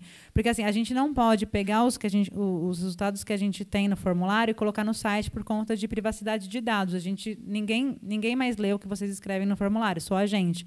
Então, agora, não sei se vocês receberam na última newsletter, a gente está com um formulário de, de permissão para que vocês é, permitam que, um, que, o nome de vocês apareça no nosso site, no nosso Instagram.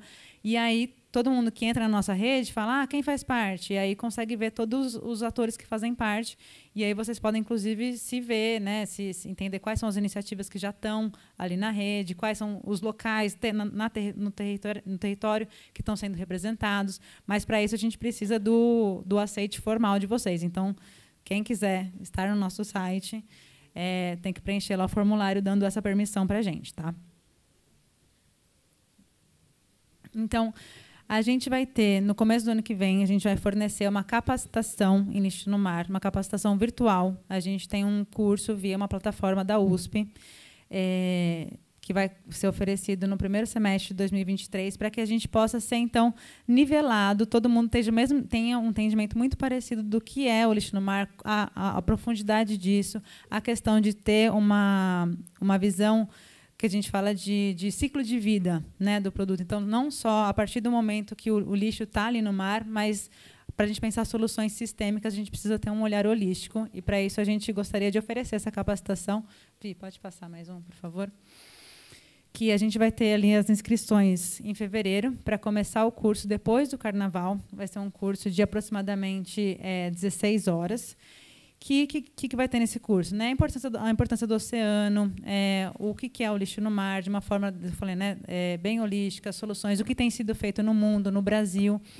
É, e também uma, uma, um, um foco nas questões de políticas públicas, para que a gente possa chegar no final de março, com todo mundo tendo feito esse curso, e, e aí, então, a gente alinhar com os workshops e o que, que a gente espera do projeto. Então, o curso ele vai ser uma capacitação que com, vai ter um certificado da USP, então é uma coisa que as pessoas podem levar para a vida, mas também tem um, um, resultado esperado bem prático que a gente vai, vai utilizar ali no projeto. Então, vai ser é, um ensino à distância, mas a gente pretende é, ter encontros é, síncronos também durante o curso, né? Então, para que a gente tenha tenta ter um mínimo aí de, de integração. Então, mas a gente vai ter, é, quando a gente tiver as datas certinhas, a gente vai é, comunicar todo mundo por e-mail. E então, depois do curso, a gente vai realmente colocar a mão na massa para construir o que, que vai ser essa estratégia estadual de enfrentamento ao lixo no mar do Rio de Janeiro. Né? Então, que, como a gente falou, a gente não quer criar um documento da nossa cabeça ou de algum framework internacional e dar para vocês e falar, tá bom, toma, tá aqui Rio de Janeiro. A gente quer construir isso de uma forma colaborativa. E a gente quer fazer isso a partir de um workshop que vai, vai acontecer, está previsto para o final de março de 2023, mas também, quando a gente tiver mais datas, a gente vai atualizando. A partir do curso, pode, pode passar, Vini. A gente espera que que, que, pode entrar nesse documento. Então, um, um, contexto, né? Então, da relevância da questão do lixo no mar, cenário internacional, nacional. É, um diagnóstico participativo, apresentando quais as iniciativas que já tem no, no, Rio de Janeiro e quais são as lacunas de atuação que a gente ainda precisa preencher. Propostas sistêmicas, né, coisas estruturantes do combate ao lixo no mar, mas também propostas pontuais, né, que são iniciativas específicas e setorizadas para o combate ao lixo no mar. Então, isso foi o que a gente já pensou dentro do nosso grupo focal, é, de forma muito geral, mas a gente quer, a partir do ano que vem, construir, rechear o que são cada uma dessas quatro pontos com vocês. Então, isso vai ser uma coisa que a gente vai ser construído junto. Então, a partir do ano que vem, realmente a gente vai ter mais momentos de interação. E aí a gente espera que vocês participem, porque só vai entrar no documento as, as, as, sugestões de quem estiver lá. De quem não estiver lá, não vai entrar no documento, porque a gente vai construir junto, certo? Então, espero que vocês possam participar. É, a gente tem ainda uns 10 minutos, mais ou menos, para perguntas e respostas. Caso alguém tenha ficado com alguma dúvida, aproveita, agora é o momento. E, senão, a gente vai passar para o encerramento. Por favor. Microfone.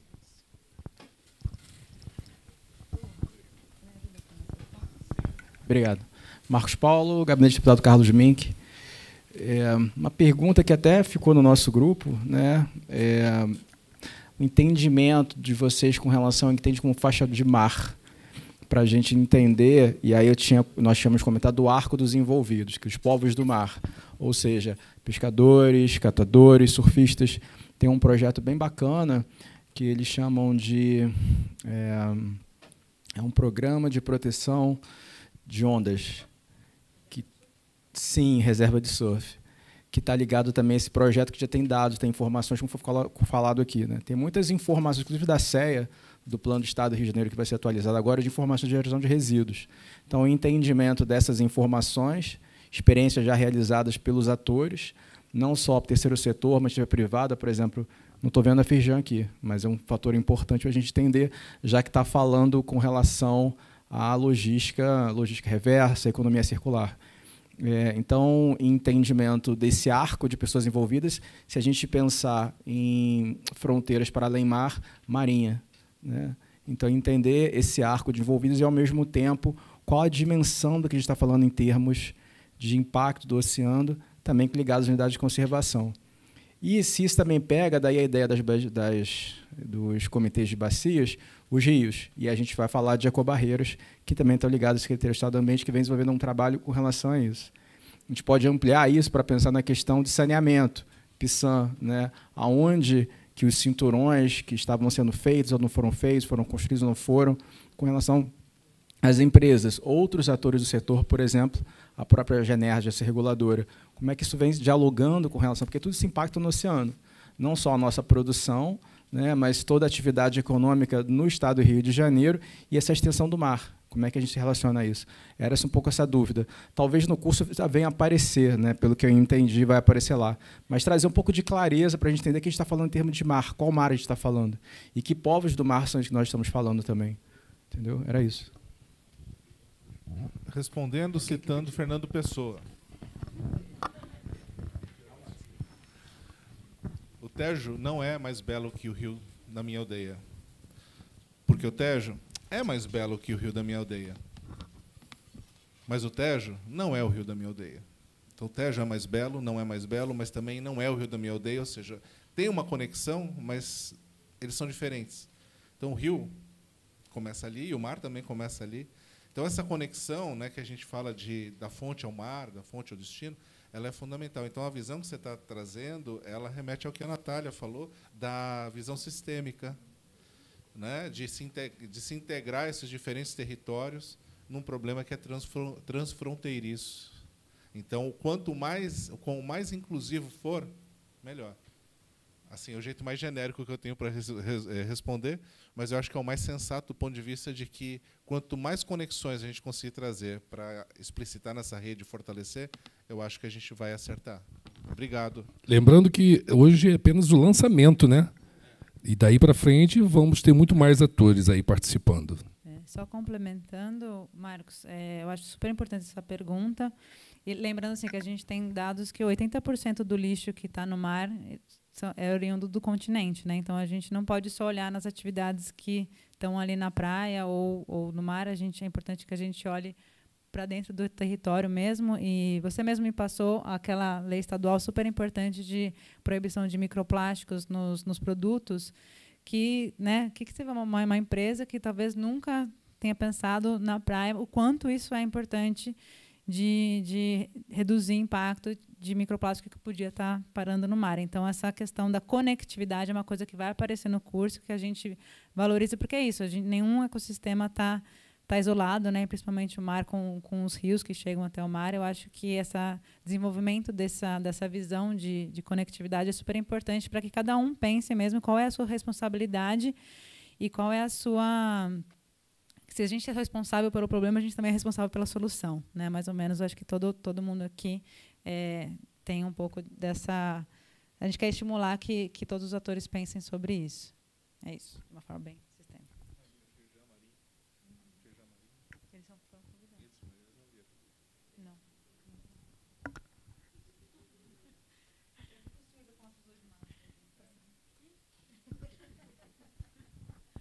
Tem que ficar em pé? Oi, gente, boa tarde.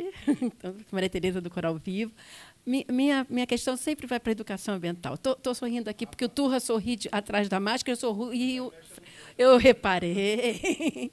Então, a minha preocupação é, é uma preocupação que veio do nosso grupo, também por isso também já foi colocada aqui, foi colocado muito bem colocado em termos de território. É, esses, é, o, a própria capacitação vai ser por EAD. Nós temos, apesar do Rio de Janeiro ser um estado pequeno, a gente percebe pela nossa prática que tem comunidades que têm dificuldade de acesso à internet. É, a nossa preocupação é envolver quem está no campo, portanto, quem está né, da nascente ao mar. Né? Então, está na nossa costa, está mais para dentro, está mais próximo, tem uma ligação direta. É, a questão da conscientização, que eu nem uso essa palavra, né, na questão da sensibilização para a participação, é um grande desafio para todos nós que trabalhamos com educação ambiental, com processos formativos. Então, eu deixo aqui assim uma, uma meio preocupação, porque eu tenho muito medo de o curso de capacitação vai ser maravilhoso, né? muitos projetos já fazem isso, A gente já trabalha com campanha de Praia Limpa há muito tempo, a capacitação de lideranças também, mas essas lideranças que a gente quer abranger agora nesse movimento, né? Da, da década do oceano, da, da, da, ciência oceânica, a questão da cultura oceânica, né, que vem sendo uma preocupação dos grupos de mobilização, grupos de apoio à mobilização da década, é muito difícil. Por isso é que a gente propôs né, a prática no campo, da gente ir até o campo. Então, vamos pensar, estou sugerindo, um, um outro formato de acordo com as culturas desses locais. Né, para a gente poder chegar, porque a nossa prática enquanto Rede de Conservação Águas da Guanabara, é, a gente tem ido fazer esses movimentos né, de, de coleta e categorização para colocar na plataforma do MMA, né, que era uma coisa que faltava ao Brasil, né, era esses, essa informação através dos dados, é, através de dinâmicas. E a gente vai a lugares que geralmente não vão, porque geralmente fazem nas praias aqui mais né, Zona Sul, algumas da Zona Oeste. E aí? A gente vai para esses lugares, a gente recebe as pessoas e eles ficam com mais perguntas do que simplesmente a ação. Né? Porque é o momento que eles nos veem. Então, é um desculpa, né, um desafio como educador ambiental, para a gente não fazer um curso de capacitação que vai ser importantíssimo, mas que eles participem, talvez num outro formato com o mesmo conteúdo, é claro. Tá? Obrigada. Quando a gente sorri, a gente não enxerga, né? Porque fecha o olho assim. Não, perfeito. A gente tem que.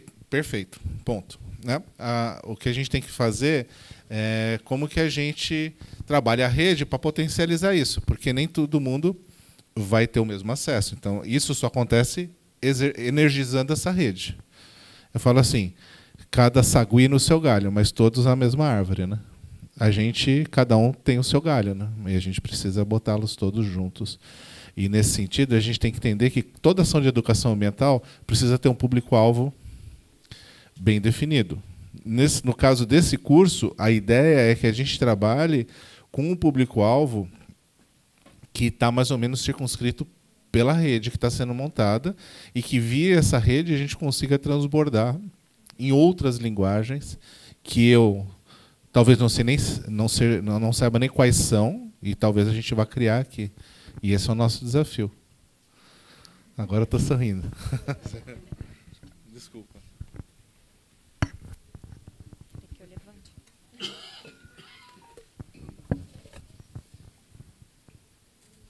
Oi, prazer, eu sou Tayane. É muito bom ver vários amigos de vários institutos reunidos aqui. Acho que muitos de nós pela mesma causa, se não todos nós pela mesma causa, né? É, eu sou engenheira ambiental de formação, sou diretora do canal Novo Mundo, Instituto Ecocria, que a gente já realizou mais de 300 mutirões, sei lá, nesses últimos dois anos, muito na cidade e no estado do Rio de Janeiro. E eu estava conversando com a Simone aqui, que é uma super amiga, sobre o papel das empresas, porque assim são muitos institutos envolvidos, muitas ONGs, e a gente fica fazendo ação, ação, muitas vezes sem incentivo. A gente entra em contato com patrocinadores, é dificílimo conseguir patrocínio, recursos para as nossas ações. Então, queria pensar mesmo com vocês, saber se a rede tem propostas mesmo para envolver as empresas que estão muito, muito é, dentro dessa temática e que precisam, sim, se responsabilizar, enfim, pensar nessa parte toda dos resíduos e da economia circular. Então, é uma provocação, é um ponto que a gente estava conversando. Né? Às vezes, a gente faz 300 mil ações em anos e aí essas empresas, muitas vezes, não estão junto. Então, é, é essencial essa integração, assim eu vejo. Então, queria uma resposta também de vocês. E é um prazer estar com vocês. Obrigado.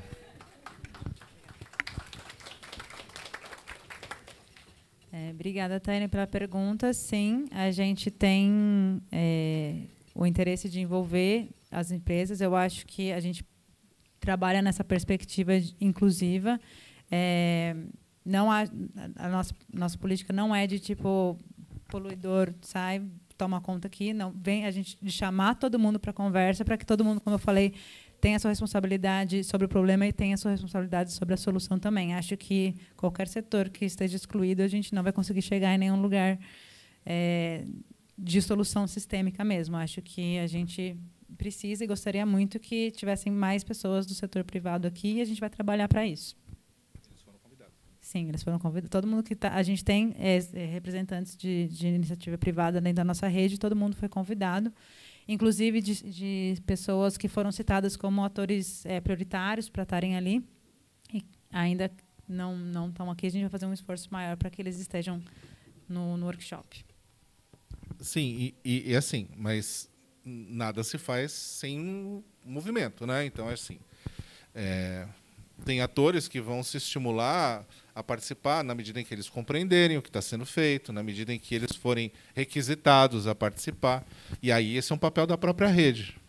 Mesmo em São Paulo, quando a gente fez, a porcentagem de instituições né, privadas que participaram é um, é um percentual pequeno. Mas eles estavam lá. Quem são eles aqui? E, na verdade, eles somos nós também. Né? Então, a gente vai ter que fazer esse movimento de identificação e de convite. Né? A gente vai ter agora um processo mais participativo, mais continuado, e é isso que a gente imagina que vai acontecer. Então, por exemplo, nessa perspectiva do snowball, né, da bola de neve, que atores, por exemplo, que não, não estão na rede hoje, que deveriam estar, por exemplo, na sua opinião, na sua opinião, na sua opinião, né? Manda o contato e a gente vai fazer essa facilitação. Mas isso não é garantia que eles vão participar. Aí você vai lá e fala, você tem que participar. E porque tem mesmo, porque é super importante, é uma visão madura do processo, né? A gente tem que ter todos os atores, né? E com isso a gente vai vai construir oportunidades, inclusive, não só de financiamento, que é bacana, mas de arranjos que vão, por exemplo, criar, é, criar oportunidades para a gente trabalhar numa outra lógica de combate ao lixo no mar. A gente estava matutando aqui, poxa vida, como que você usa o próprio orçamento para de repente fazer essa transformação, né? E como você trabalha na perspectiva de qualificar a, a, as, as cooperativas numa, num cenário em que plástico vira ouro, porque ele o é embora a gente não faça, não entenda ele assim hoje, né? Porque ele é carbono que foi estocado bilhões, milhões de anos, milhões não, milhões de anos atrás, ou seja, qual o custo, né, disso, o custo ambiental. Então a gente tem que entender isso, né? E quem for querer comprar plástico reciclado para fazer seus produtos, não vai querer que o seu produto seja fruto de um, de um movimento baseado em trabalho, trabalho análogo à escravidão, por exemplo. Então tem que pagar direito pelo trabalho, pelo produto, e isso tudo gera renda, sabe assim? É, é, inclusive nessas perspectivas, eu acho. Então, eu acho que a gente tem que trazer as pessoas, as, as cooperativas, as empresas do setor plástico, as empresas que não são do setor plástico, mas usam plástico, ou seja, basicamente todas são, né? Quem vende o Guaravita, né? Por exemplo, estou fazendo um merchandising não, tá? Só, ah, sei lá. O, a, eu vou falar assim uma coisa que ninguém vai entender. A bolacha Globo, né? Oi. Só complementando, eu acho que o que o Turra falou também vale para outros atores que não estão aqui, mas que também estão sendo é, engajados, por exemplo, é, prefeituras e secretarias do meio ambiente. Né? Só lendo aqui um comentário que veio do YouTube, do Defensores do Planeta, a pessoa falou assim: senti falta das prefeituras no evento, as secretarias de meio ambiente são convidadas? Estão fazendo parte, os conselhos municipais de meio ambiente? Então, assim como a gente também está tá em contato com, com as empresas, a gente também está tentando um, um, contato com as prefeituras. Algumas prefeituras já estão engajadas. A gente não está falando também com todas as, as prefeituras do estado do Rio, a gente está fazendo um movimento nuclear assim de quem estão ali mais próximas da, da Guanabara, um recorte territorial, mas a gente espera também via é, os, as unidades de conservação ficar entrar em contato com aquelas prefeituras que estão ali próximas, porque também tem tem muita questão de, de gestão próxima né, do, do, do, resíduo. Então, só para falar que sim, assim como as empresas, outras é, instâncias do, do governo também estão sendo convidadas a fazer parte.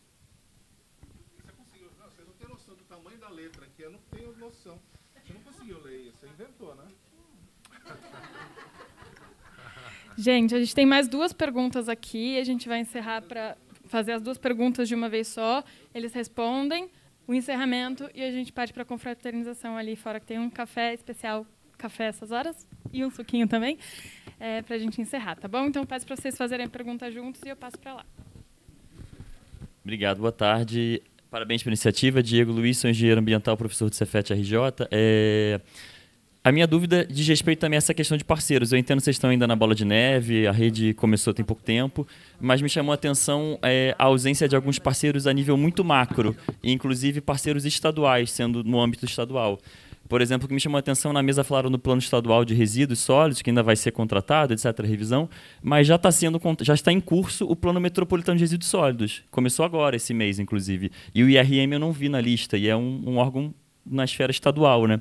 E que ele vai responder por 22 municípios e por mais de 50% do lixo gerado aqui no, no estado. Então, assim, como se aproximar dos próprios parceiros do governo do estado. E aí, por exemplo, o IRM é um ponto focal para você dialogar diretamente com 22 prefeituras numa tacada só, e com um plano que já está em curso e que a meta é que ele seja finalizado até o meio do ano que vem. Então, assim, é o momento, acho que, de entrar. E a segunda questão era na academia. Também são parceiros macro. A gente tem universidades, eu vi alguns colegas da FRJ, da da UERJ, UF, é, PUC, Cefet, né? É, vários estavam aqui, não sei se é questão de todos, mas porque, por exemplo, estavam é, participaram do edital do TAC da Almoxarifado Submarinos, então estavam com propostas de pesquisa. Mas a minha pergunta é não trazer a academia como assim grupos de pesquisa que estão participando do edital, mas como figura institucional. Então, não trazer o grupo de pesquisa do Diego, sei lá o quê, mais o Cefet. Não trazer o grupo de pesquisa do professor, sei lá o quê, que trabalha com isso aqui, mais a UF. Então, porque eu vi a USP de São Paulo, mas eu não vi a Academia Fluminense. Então, eram só essas duas perguntas.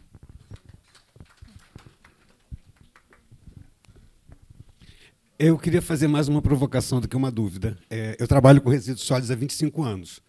É, eu cato lixo em mangue por, por, ideia de um catador de caranguejo que percebeu que estava diminuindo a coleta dele porque tinha sofá ocupando lugar de toca. Né? E aí nasce a Operação Lipaoca. E aí, é, já formei oito cooperativas, duas redes de comercialização aqui na Baía de Guanabara e na região dos lagos.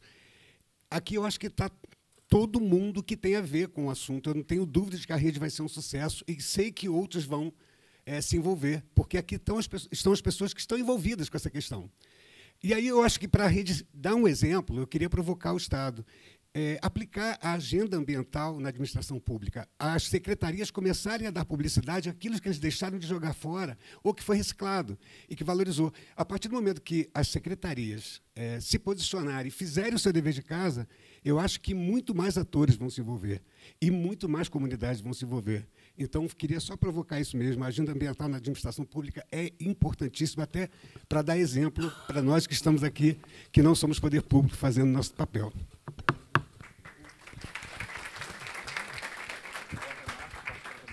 Muito bem. Não, são questões super importantes. É, e como a gente constrói uma rede? É, e institucionaliza. Né? Então, acho que a sua, a sua colocação é importante.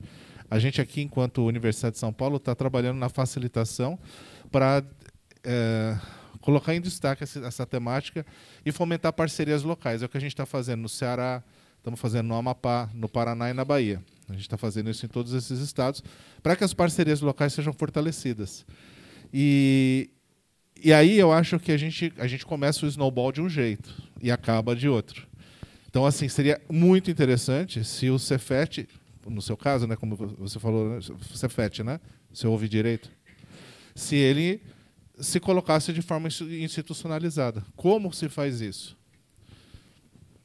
É um, pode ser um processo de, né, de baixo para cima, né, sendo levada por você, assim, como um, uma pessoa da instituição, ou pode ser de cima para baixo os dois caminhos têm coisas positivas e têm possibilidades de falha. Né? Às vezes a pessoa que é, é né, energizada em cima, ela não capilariza de um jeito que as pessoas que estão botando a mão na massa estão fazendo. Isso, dependendo do tamanho da instituição, tem muito risco de acontecer. Então, o que a gente pode fazer é começar um processo de levar para as instituições e ter as provocações, olha, pró-reitor, olha, nananã, diretor, vamos lá, vamos participar institucionalmente, e a gente recebe e leva a provocação de ter né, com os contatos apropriados, esse, esse, esse contato mais institucionalizado. Acho que são as duas coisas. Né? E a 3P, né? acho que é um exemplo muito interessante, que é bastante antigo e que vem sendo exercitado, mas eu acho que é uma questão de. Né, de é um exemplo de muitas práticas que a gente pode retomar ou fortalecer, e não tenho dúvida que isso já faz parte né, de muitas instituições. Né? Eu acho que bacana. Acho que é isso, né? Ok. Rapidinho, só para contribuir com a fala do amigo ali. É, só para ressaltar, eu falei de uma forma rápida, é, mas uma das maneiras que a gente tem de chamar as cidades para isso, duas na verdade, de uma certa forma, é a gente conseguir dar capital, giro né, financeiro, e outra giro político, de uma certa forma, visibilidade aos trabalhos que acontecem lá. Dois programas nossos lançados nesse ano têm esse viés. Um é o programa Cidades Mais Sustentáveis, porque ele trabalha com eixo do ODS. Então, se tem programa na cidade com ODS 14, lixo no mar, ele pode ser, vai ser regulado ano que vem, acessar os recursos que a gente conseguir destinar para aquilo, porque há projeto naquela localidade. Há uma proposta de revisão, a como ainda é a proposta, fique sapiente, mas há uma proposta de revisão até para o ICMS ecológico contemplando as ODS, e isso é, aí sim já teria um recurso carimbado, então já já estava redondo. E, por último, citado até pela subsecretária, o Recicla RJ, porque a gente fortalece as cooperativas e vai acontecer projeto dentro das cidades com as cooperativas apoiado pelo Estado. E aí, se a gente conseguir incluir linhas dentro do projeto que trabalha com a questão do lixo no mar, aí eu acho que a gente também tem fomento nesse sentido. Só para contribuir na fala. Obrigado. Ok, gente. Sendo assim, é, gostaria de lembrar que todas as dúvidas, é, provocações, contribuições, vocês podem acessar as redes sociais da rede, né? É, Oceano Limpo, rj.gmail.com e também pelo Instagram, arroba Rede Oceano Limpo, tá bom? Toda e qualquer informação, qualquer dúvida, vocês podem acessar as redes sociais da rede. Eu gostaria, nesse momento, de estar agradecendo ao deputado estadual André Siciliano, presidente da casa, uh, que nos cedeu o espaço. Uh, o deputado Tiago Pampolha, Tereza Nunes, que é chefe de gabinete do Tiago, o pessoal da comunicação social da Alerj, com a diretora Cris Laranjeira, o cerimonial da Alerj, o departamento de informática, a TV Alerj, equipe de som, os demais funcionários da casa que contribuíram para a realização desse evento. É, obrigado a todos aqueles que nos acompanham pelo canal do YouTube da Alerj Digital, a Secretaria de Estado do Ambiente, na pessoa da subsecretária Jaqueline Alvarenga, o Instituto Estadual do Ambiente, na pessoa do senhor Leandro Gomes, a Alfombio, né, com a nossa querida Manuela Moanes e Laura Petroni, ao nosso professor Alexandre Turra e também para Natália Grilli. Obrigado pela presença e participação de todos vocês e até um próximo momento com a nossa rede, tá bom? Tenham todos um bom retorno para os seus lares.